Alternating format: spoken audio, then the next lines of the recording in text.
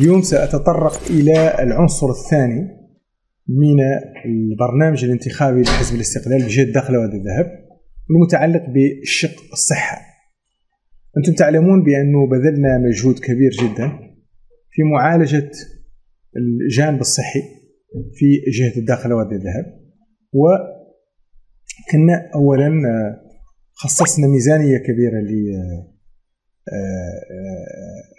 يعني الرفع من مستوى الخدمات خدمات في المستشفى الجهوي فيما يتعلق بنظافته فيما يتعلق بالخدمات الأساسية اللي فيه. وثانيا يعني كنا حاولنا بأن ندرسوا شنو هي نقاط الضعف كلها في هذا الجانب.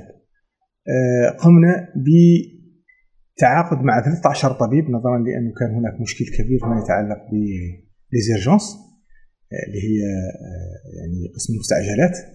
وهذو الأطباء الثلاثة عشر الآن يتم يعني هم يخدموا الآن في الصحة واللي متكلف بهم هو جهة الداخله والذهب الذهب. في إطار تعاقدي طبعا مع إدارة مع جمعية الأطباء آه، في هذا في هذا المستشفى الجهوي. ضيف إلى ذلك بأنه كذلك تعاقدنا مع مصحة دولية اللي هي ابن سينا في الدار البيضاء. وقمنا بما يناهز 1400 عمليه استفادوا منها كل الفئات المعوزة والفئات يعني الضعيفة. العمليات هناك عمليات اللي تم القيام بها بأثمنة باهظة توصل إلى 20 مليون 25 مليون سنتيم. وبالتالي كانت صعبة جدا على هذه العائلات بأنها تتكفل بها تكفلت بها مجلس جهة الداخل والذهاب واللي كانت أحد الركائز الأساسية لبرنامجنا خلال هذه الفترة الانتدابية.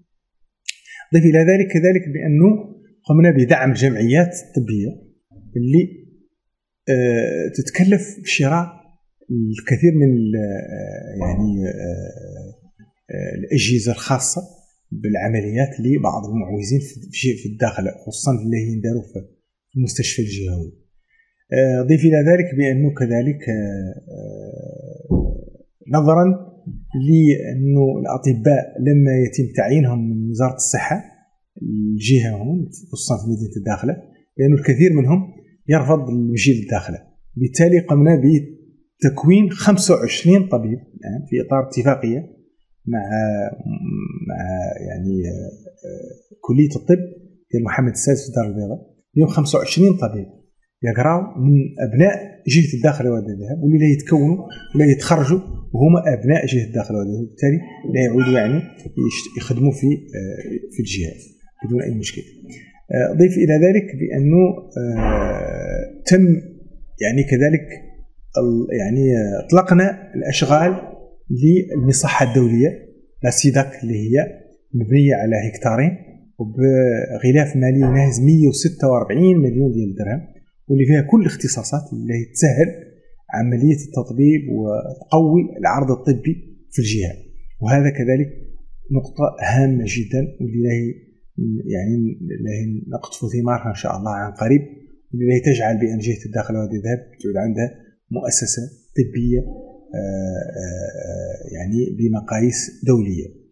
آه، الآن يعني نحن نقول بأنه إن شاء الله في الفترة الانتدابية المقبلة له نعزز كل هذه النقاط وله نقوي كذلك الشراكات خصوصا مع جمعية الأطباء من أجل إنهم يلعبوا دور آه، أكثر من خلال تحفيزهم آه، والقيام ب آه، يعني خدمات أكثر تجاه المواطنين تجاه المرضى في الجهة.